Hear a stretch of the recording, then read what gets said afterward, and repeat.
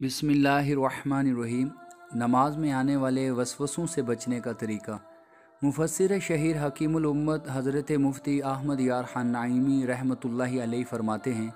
नमाज़ शुरू करते वक्त तकबीर तहरीमा से कबल तजर्बा है कि जो तहरीमा यानी नमाज़ शुरू करने से पहले इस तरह, यानी उल्टी तरफ़ तीन बार तुतकार कर, लाहौल शरीफ, यानी लाहौल वला बिल्लाहिल अज़ीम पढ़ ले, फिर तहरीमा करे, यानी नमाज़ शुरू करे, दौरान नमाज़ में निगाह की हिफाजत करे,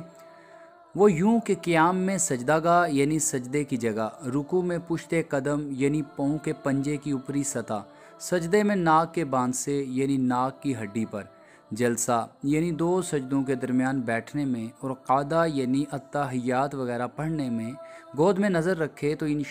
नमाज़ में हजूर कल्ब यानी खुशू हुजू नसीब होगा।